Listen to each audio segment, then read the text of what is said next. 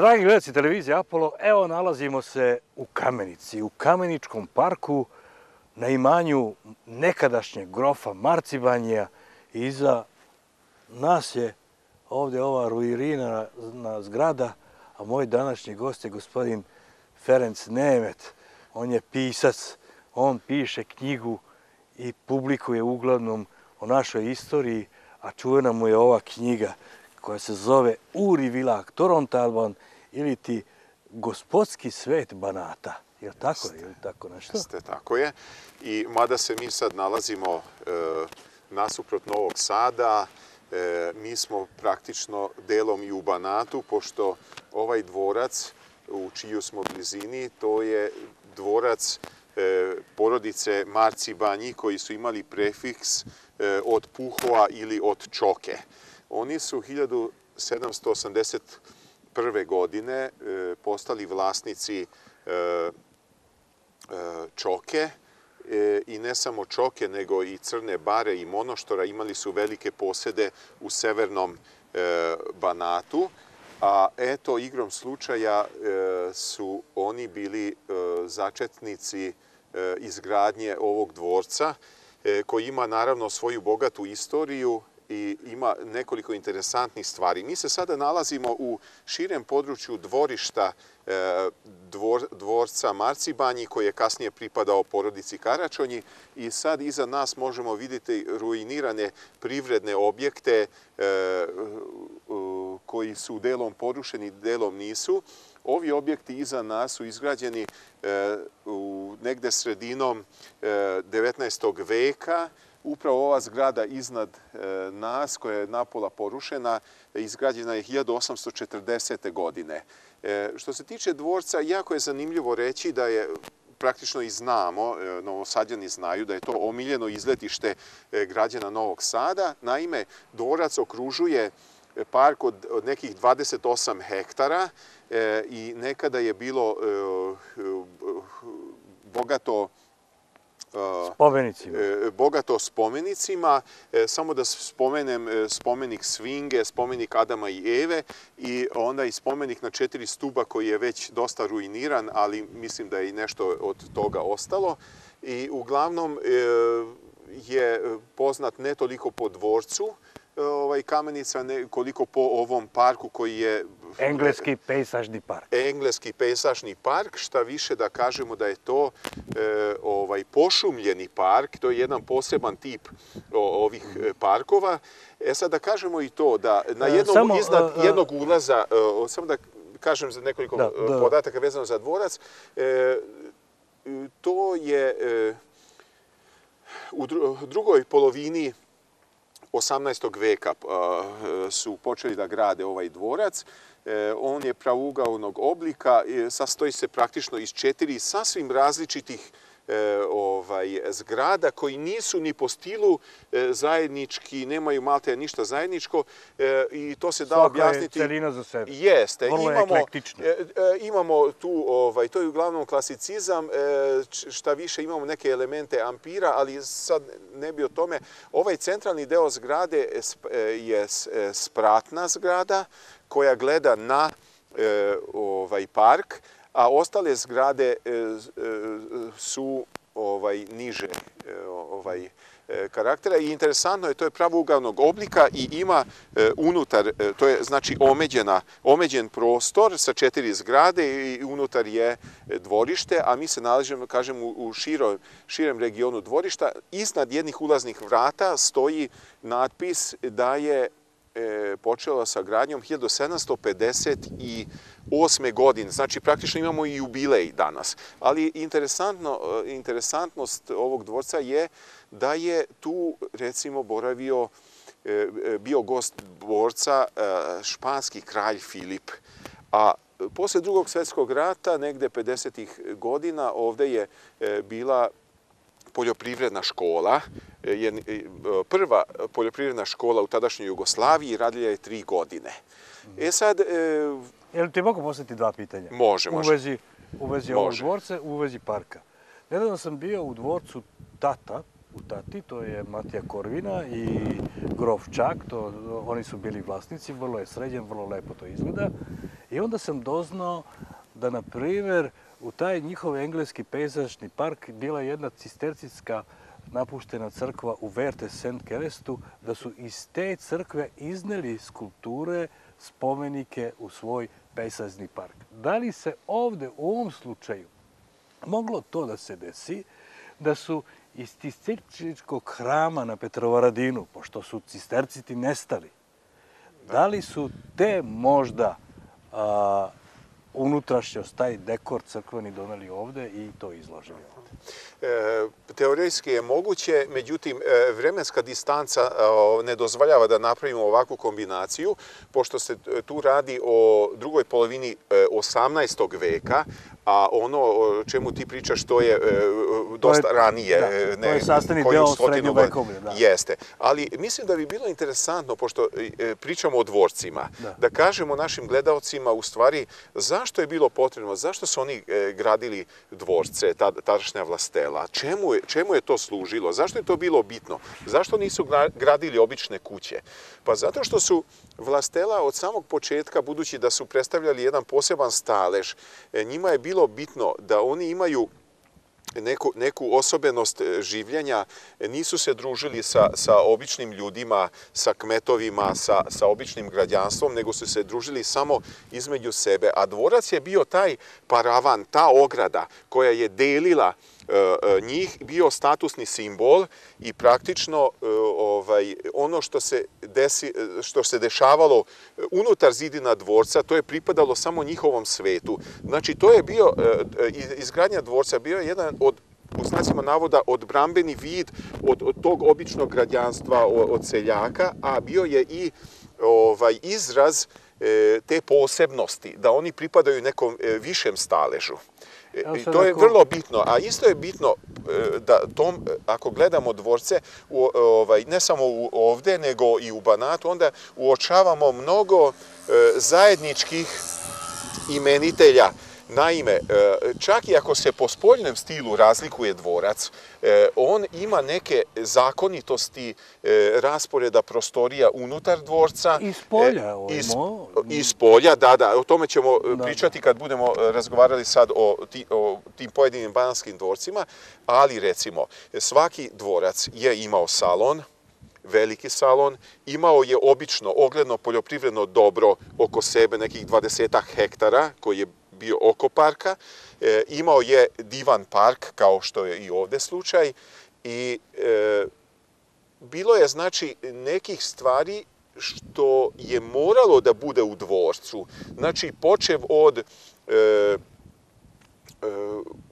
ledare, od, od staklenika gde su gajili ove lepe biljke, razne cvetove koje su posle ovaj, u proleće e, e, sadili i tako dalje. Isto tako ovaj, e, morali su imati deo za poslugu, određeni broj ljudi, negde je to bilo 40 do 50 ljudi koji su obsluživali celo to gazdinstvo od 20 hektara. Znači, to je bila jedna, jedna da kažem, e, ja, privredno-kulturna celina.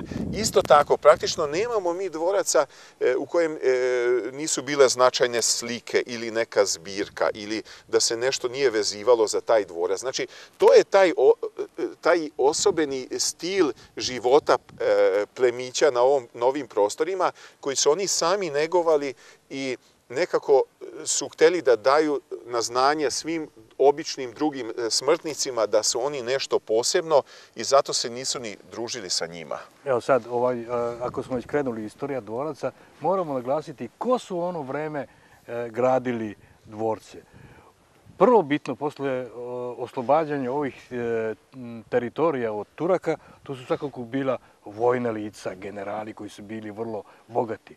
Tu je bio sam Eugen Savojski koji je napravio od onih para koje je iznao iz Senćarske bitke kada je opljačkao to u znacima navoda sultana, on je u Beču izgradio sebi belvedere, a već 3-4 godine kasnije on gradi svoj letnikovac u Rackevi i dok mi pričamo sad gledate upravo snimke iz Rackeve, iz Srpskog kovina na ostrovu Čepel.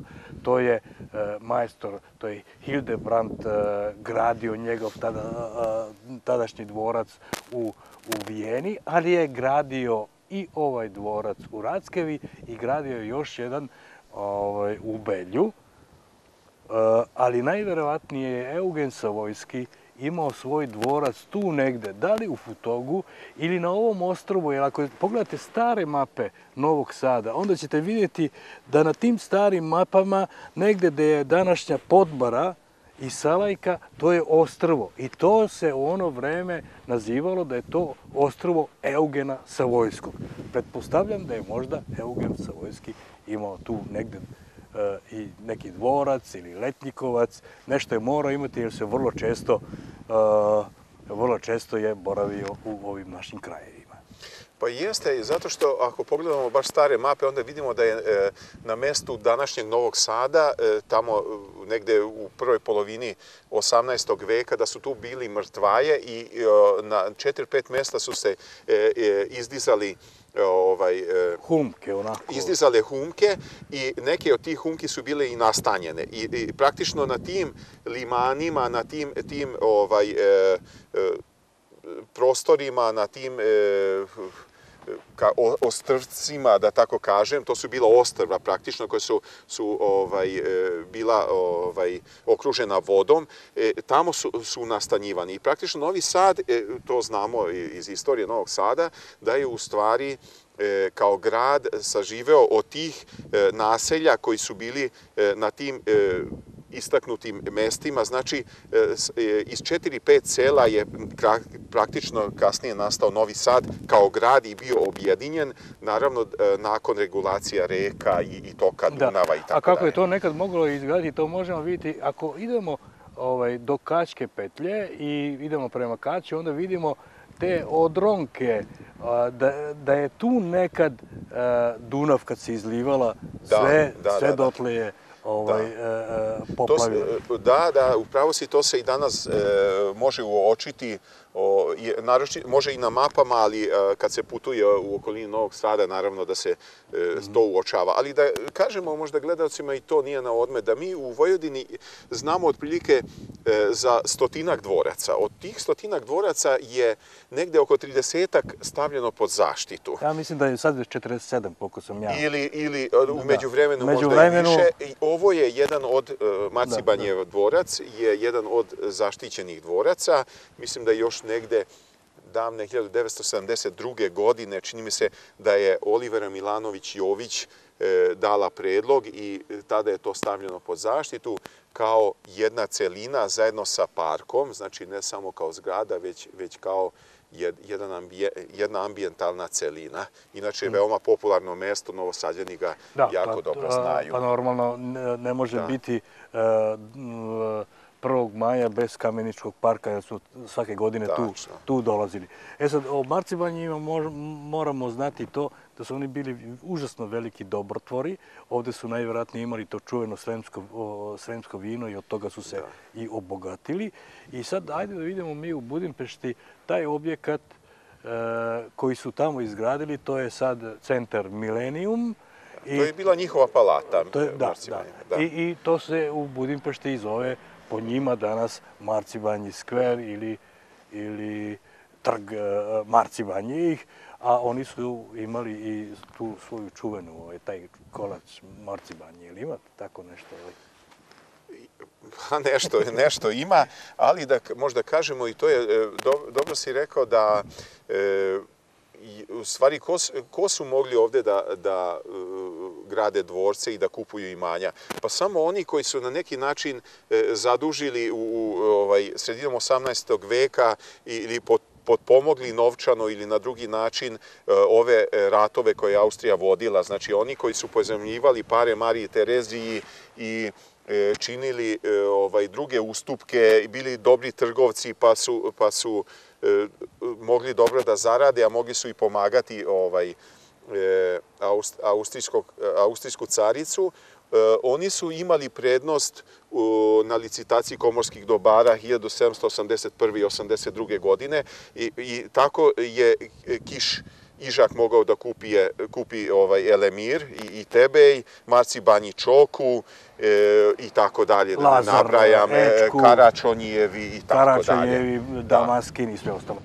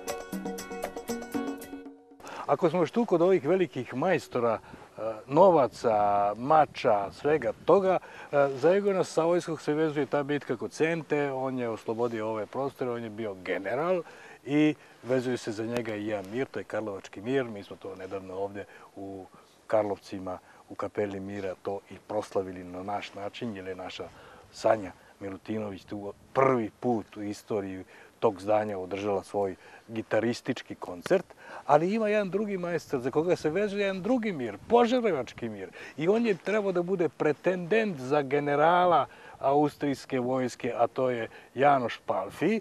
I sad predlažem da vidimo Ako smo već vidjeli kako izgleda dvorac u Rackevi, u stvari Letnikovac, Eugana Savojskog, da vi odemo do Bojnica, da vidimo šta je ovaj majstor drugi uradio, a taj je bio poznat po Petrovaradinskoj bitci, jer je tada već, e, kad su se ovde vodili rat, ratovi ovaj, 1716. 17. godine. Eugen Savojski već bio tad mator čovjek, imao 54 godine, više je komandovao, više je bio na tom njegovom ostrovu ovde, koji se zvao Eh, ostrvo Eugera Savojskog i odatle on komandovao. Isto znamo kako je se eh, desilo to njegovo komandovanje za vreme Petrovaradinske bitke, ali je zato na delo, na delu se pokazao kao pravi heroj eh, Janoš Palfi i on je bukvalno oslobodio i bio pobednik Petrovaradinske bitke, zatim Temiršvarske bitke, pa Beogradske bitke, pa Požarevačke bitke i on je sa svojim husarima krenuo oslobađanje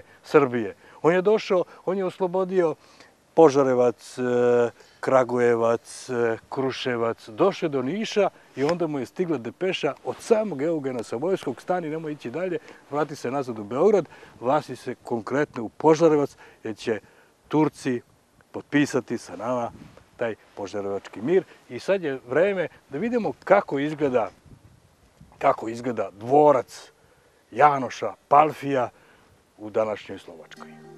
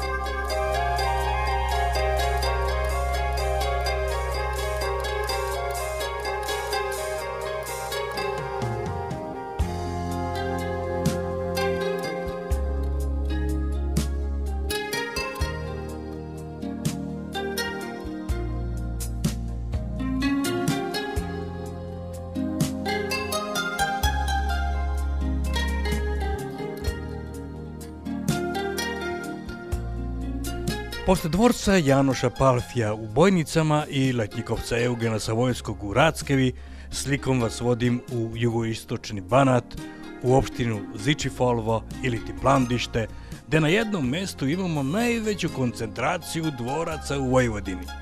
Ukupno šest. Prvi u nizu koji će vam predstaviti je dvorac Bele Botke, u narodu znano kao Kapetanovo. Dvorac u duhu pseudo-srednjovekovnog zamka sagradio je 1904. Bela Botka, ondašnji župan Torontala. Godine 1938. bankrotirao je i dvorac je na licitaciji u Bečkereku prodat Francu Majnu, koji ga je kupio svojoj kćerci udatoj za Milana Kapetanova. Otud se dvorac danas zove Kapetanovo. Posle drugog svetskog rata nacionalizovan je i predat na upotrebu zemljoradničkoj zadruzi. Sada ga restauriraju, a posle će najverovatnije biti hotel. Za svaki dvorac vezuje se po koja priča. Sledi legenda o dvorcu Kapetanovo. Kada je 1938. bankrotirao vlasnik zamka Botka Bela, nije ni slutio da će se njegova žena od tuge što gubi zamak politi benzinom i zapaliti. Kažu da je izgorela brzo. Nije ostao ni pepeo, samo pramen plave kose koji je poput smrtnog venčanog vela dugo obletao zamak. Legenda kaže da se svakog 2. avgusta noću pojavljuje u jednoj od soba zamka senka žene duge plave kose koja gleda u banatsku ravnicu. I danas, kada kosci kose travu oko zamka, na njihovim oštricama i gravljama se umesto trave nekad nađe i vlas plave kose.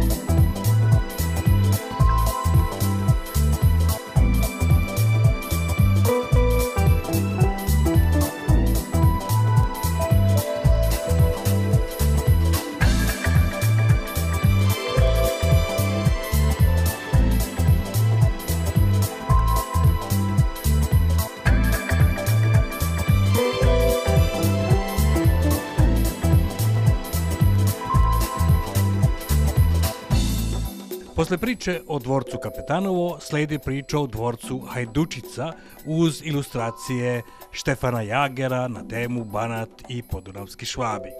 O slikaru Jageru moramo znati da je od 1996.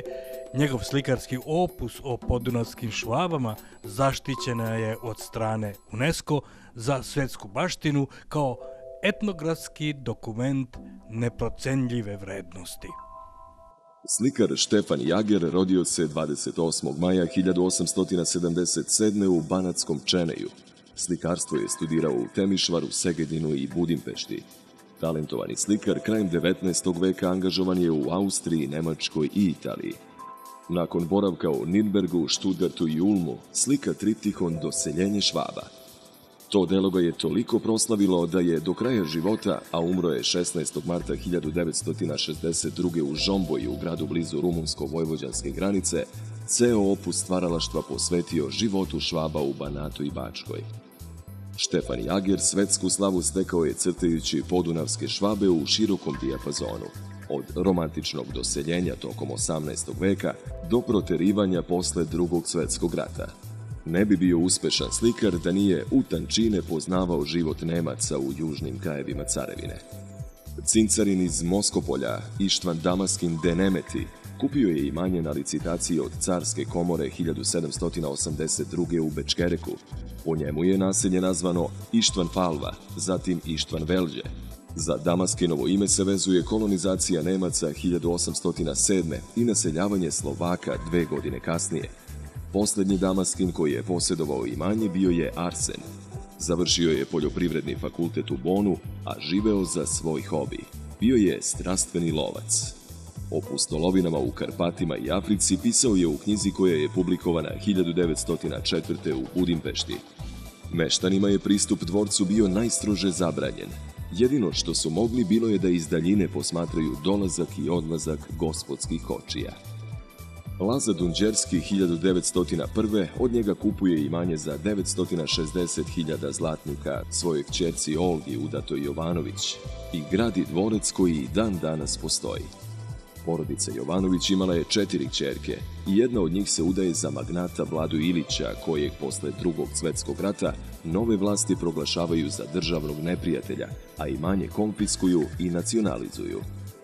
Na njemu je osnovano poljoprivredno dobro 1. maj, koje je, prolazeći kroz razne transformacije, izraslo u današnje poljoprivredno preduzeće Hajdučica sa oko stotinu zaposlenih i preko 2500 hektara obradivog zemljišta.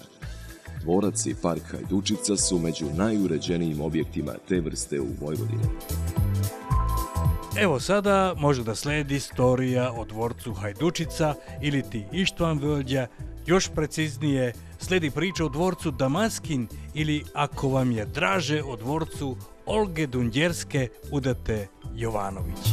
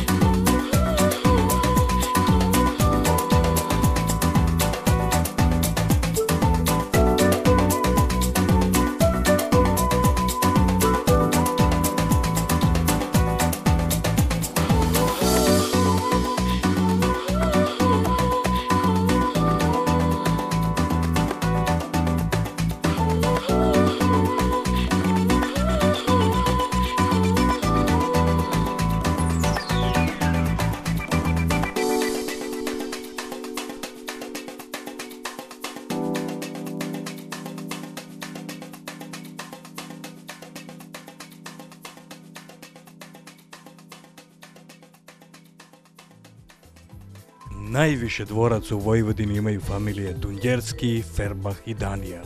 Po četiri. Znači te tri familije imaju ukupno 12 dvoraca. Sledi priča o jermenskoj porodici Danijel. Jedna od najuglednijih i najuticajnijih tamiških i torontalskih porodica bila je Daniel. Jermenac Pal Daniel titulu plemića dobio je 3. jula 1725. u Beču. U opštini Plandište postoje četiri dvorca koji su nekada pripadali ovoj uzornoj familiji. Dvorac u Konaku izgradio je grof Laslo Daniel 1884. Uz glavnu zgradu koja je služila za stanovanje, izgrađena je skromnija građevina za biroše i sluge, a nešto udaljeniji su ostali objekti, konjušnica, štale i magacini. Dvorac okružuje engleski pejsažni park sa redkim stablima raznih egzotičnih vrsta koji se prostire na nekoliko hektara. Imanje Danielovih je upropastila agrarna reforma 1921. Tada dvorac kupuje industrijalac Kosta Ilić i u Konaku gradi fabriku tekstila. Posle drugog svetskog rata, nove vlasti proglašavaju vladu Ilića, beogradskog gradonačelnika i industrijalca, za državnog neprijatelja i oduzimaju imanje. Danas je u dvorcu osnovna škola Vuk Karadžić. All right, all right.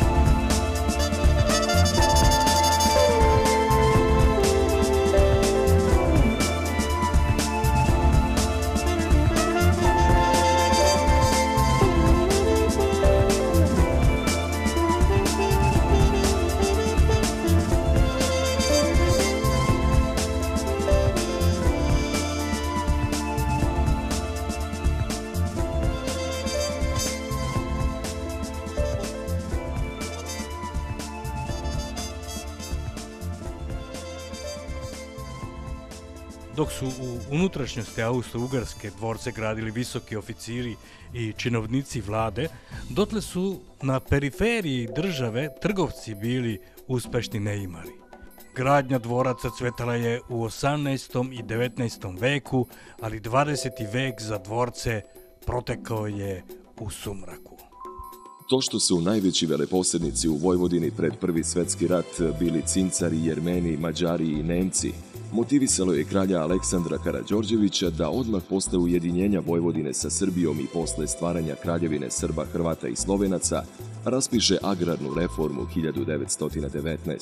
Veleposedi su uglavnom sekvestrirani i prvo delimično dati u zakup agrarnim interesentima, ova agrarna reforma, koja je formalno trajala celu deceniju, poduprta je odlukom o zemljišnom maksimumu od 300 hektara obradivog zemljišta. Dakle, ni zemljišni maksimum nisu izmislili komunisti, nego Karađorđevići. A u Beogradu je ustanovljena Agrarna agencija za Vojvodinu. Dakle, ni taj institut nisu izmislili ovdašnji evropejci i stručnjaci za tranziciju. Zemlja koja je 1919. uzapaćena nacionalizacijom 419 velikih poseda sa 542.000 hektara, delimično je podijeljena kolonistima iz nerazvijenih krajeva Kraljevine Jugoslavije, koji nisu imali ni novca ni znanja da je obrađuju. Ukratko, sve je to rezultiralo padom poljoprivredne proizvodnje za 20 prvih 10 godina, kaže ugledni ekonomista Dimitrije Boarov i dodaje – Ni druga velika agrarna reforma u Vojvodini, ona posle drugog svetskog rata, nije donela ništa dobro.